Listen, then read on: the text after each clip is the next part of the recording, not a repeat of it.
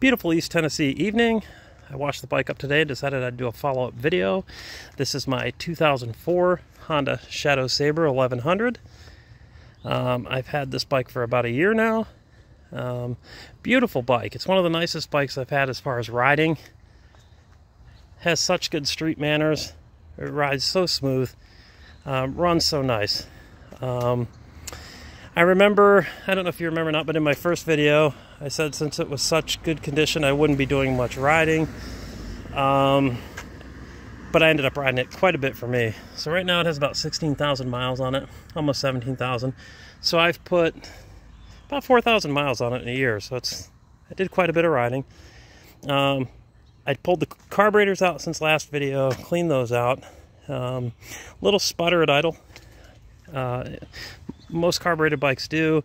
Um, it's an easy issue to avoid. So anytime these bikes, you know, I read a lot of the forums, the guys are like, well, it idles bad, but when I lay on the gas, um, it runs fine. What that is, nine times out of 10, just from working on these bikes forever, it's your pilot jets. So very small holes in those little pilot jets. Um, so you have to pull the carb and clean them out. Um, it, while you're in there, you may as well replace them and do a whole rebuild kit. Um, if you want to go cheap, you could take them out and just clean everything really good. Um, I'm sure that would work fine as well. But I just took it out, ran a whole rebuild kit on it, and uh, purrs like a kitten. Now, there's ways to avoid that.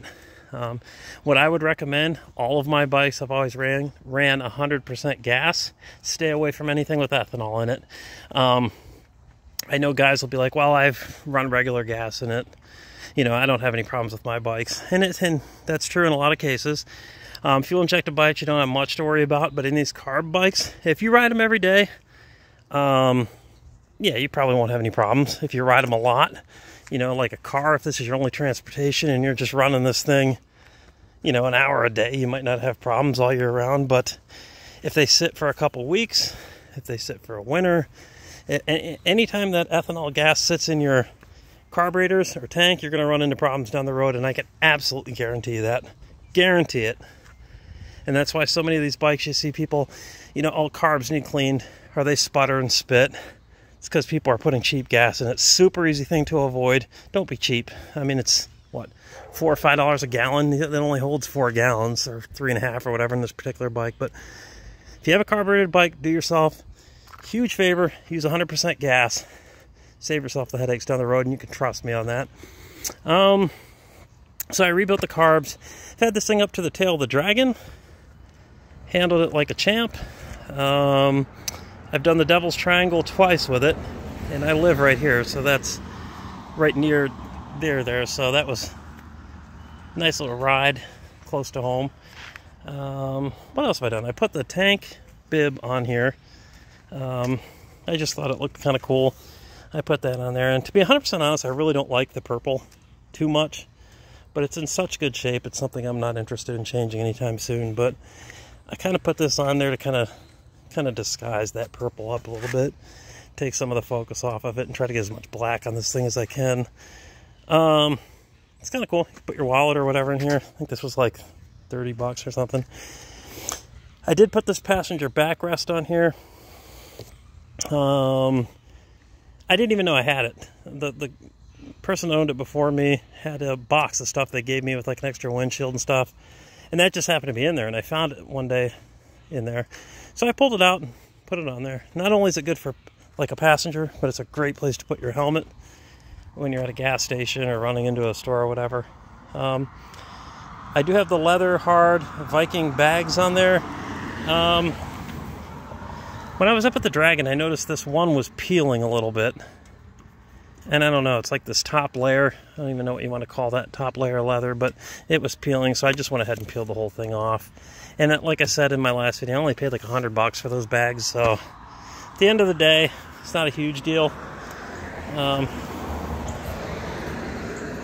the only real issues I've had with this bike, and have nothing to do with Honda, um, it's all in the third-party accessories, like these Kuryakyn pegs. They're like a switchblade style. You pull this down, they flip open.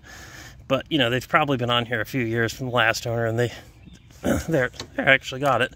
They kind of flip open like that for highway, you know, you want to get on the highway like that.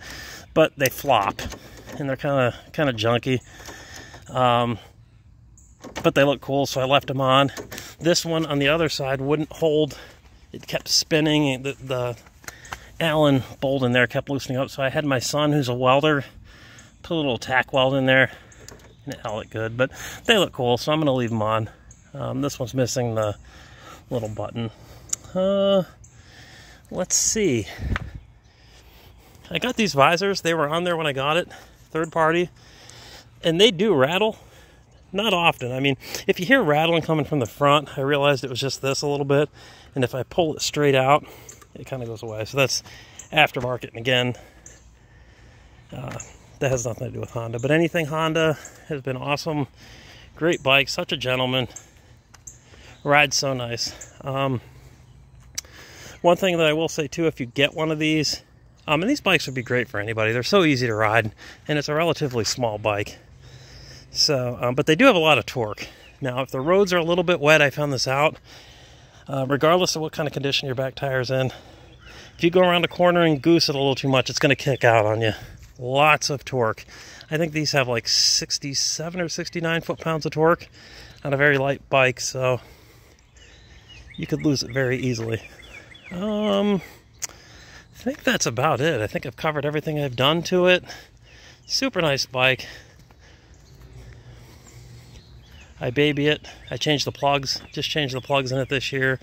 Uh, gear oil, oil change, obviously, coolant flush. So I've kind of gone through it, and I do that every year just because it's kind of cheap. So uh, you may as well. Um, I think I went over the Kuryakyn blinkers last time that they put which were super cool. And they also put those on the front as well. Um, put the factory exhaust back on, like I said in my last video. I just like it quiet. I'm a little older now and I just don't like, you know, rattle in the neighborhood first thing in the morning. I mean, it's cool as hell, don't get me wrong. But I don't want to do that to my neighbors. But anyway, start it up, choke off. It's been sitting here all day. Perfect such a such a gorgeous bike. The only thing I would say, my only critique of the bike, other than the color, I mean, if it was another color, it'd be cooler, but um, it's a little boring. I mean, it's so perfect. It has really not much character. Riding it, it just rides so smooth. It doesn't rattle you. It's like riding a, you know, almost like a Goldwing. Not really, but it's kind of like that. Super smooth, very enjoyable. Um, but it doesn't have much character, in my opinion. I mean, you may disagree. I mean, like some of the Yamahas I had, I had a couple V Stars, I had an Intruder 1500, a Sportster. They all had a little something about them. They gave them a little bit of personality. Um, and this bike just doesn't. It's just very vanilla. It's a that's a good word. It's a vanilla cruiser. What you see is what you get. Solid as a rock it's a Honda. You're to have it many, many years, and I'll probably keep this one for a long time. It's a great commuter um, until I get a bagger down the road again. But so I think that's about it. Um, like and subscribe. A video journal I'm doing of my ownership of the the Shadow Sabre. I've never done it with any of my other bikes. Figured if anybody was in the market for one of these, maybe they could watch this video have any questions, you can put it in the comments. But uh, pretty straightforward bike, super nice. Recommend one to anybody. You're not going to have any issues. Other than the carburetor and put good gas in it. Other than that, if you put 100% gas in, you're going to be in good shape forever. Bulletproof. Alright guys, thanks for watching.